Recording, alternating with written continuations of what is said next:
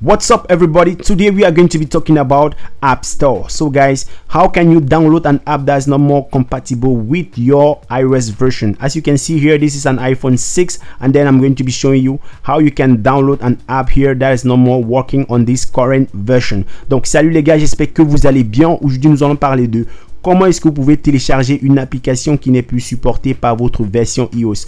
Voici un iPhone 6 et là actuellement c'est sur iOS 12.5.4 et là il y a une application ici qui ne marche plus avec euh, cette euh, version de iOS. Donc voilà comme vous pouvez voir c'est un iPhone iOS 12.5.4. As you can see here guys, this is my iOS version and then there is this app. You can download any more this uh, blockchain app. So guys we are going to go right now and download this app. So just open your app store. If you have this other problem you can just open your app store. It's very simple. Just go on uh, the app.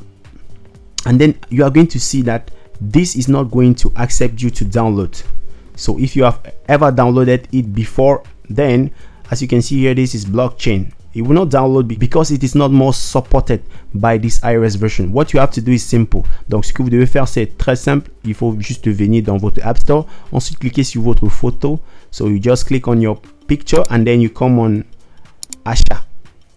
So you come simply on the purchase and on purchase now you just go now to the app that you have already downloaded because this one will only work on uh, iCloud accounts or iTunes accounts that have already downloaded that particular app.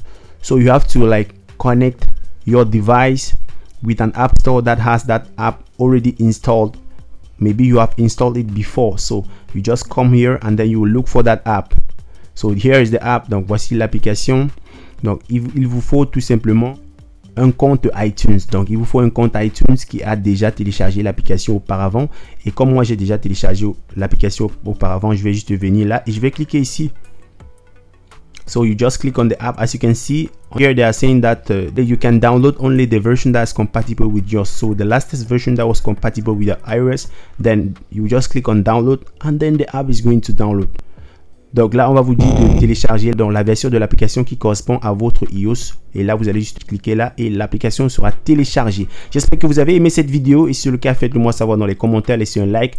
Partagez cette vidéo avec vos amis. So, guys, thanks for watching this video. Hope you guys you enjoy it. So, just give it a thumbs up, share with your friends. And if you're new on my channel, you can simply click on the subscribe button and then turn on notifications to miss nothing on my upcoming videos. So, let's meet next time. And as always, Trust the process.